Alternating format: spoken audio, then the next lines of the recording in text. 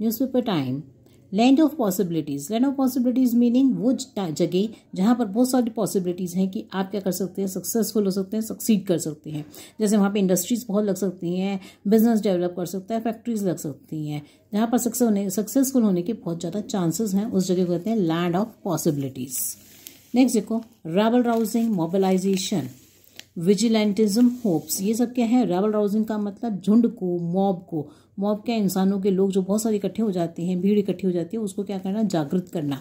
Mobilisation मतलब उनको और एक्टिव करना मोबिलाइज करना और विजिलेंटिज्म जो है वो मतलब कि गो, यहाँ पर तो वैसे गाय के, उसके लिए आया हुआ है कि गाय के रक्ष, गौ रक्षकों के लिए कि विजिलेंटिज्म मतलब यहाँ पर जो है उन लोगों को मतलब किसी भी क्राइम वाले जो क्राइम कर रहा है, उसको सजा देना, बना, मगर लॉ से नहीं।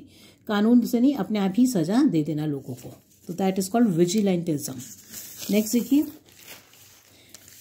BJP aims to deliver knockout punch in S P stronghold तो जहाँ पे समाजवादी पार्टी का बहुत स्ट्रांग होल्ड है, वहाँ पर नॉकआउट पंच क्या है phrase knockout punch knockout punch का मतलब पंच होता है मुक्का मारना तो नॉकआउट का मतलब बाहर निकाल देना। तो वहाँ पे मतलब उनके साथ जो है कंटेस्ट करके उनको जो है हरा कर उस जगह से हरा देना मतलब जहाँ पे उनका बहुत स्ट्रांग होल्ड है। तो नॉकआउट पंच क्या है?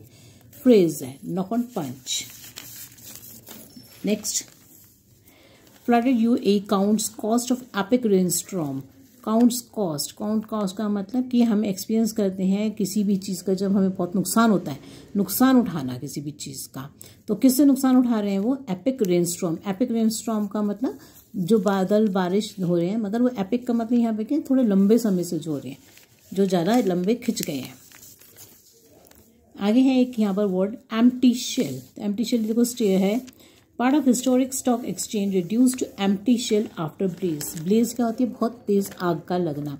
और एम्प्टी शेल का मतलब होता है, वैसे ये फ्रेज है, ये किसके लिए आता है? लोगों के लिए आता है कि जो कि जिनमें कोई इमोशंस नहीं होते फीलिंग्स नहीं होती तो उनको हम कहते हैं कि ये एम्प्टी शेल है। तो एम्प्टी शेल यहाँ पर मतलब है, बिल्कुल जो है खाली हो गया आग लगने के बाद, बहुत तेज आग के बाद after blaze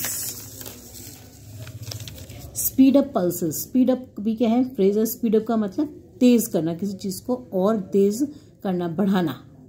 Thank you thank you for watching my video and please for the more for more to know more about the news paper headlines please subscribe to my channel thank you thank you for watching my video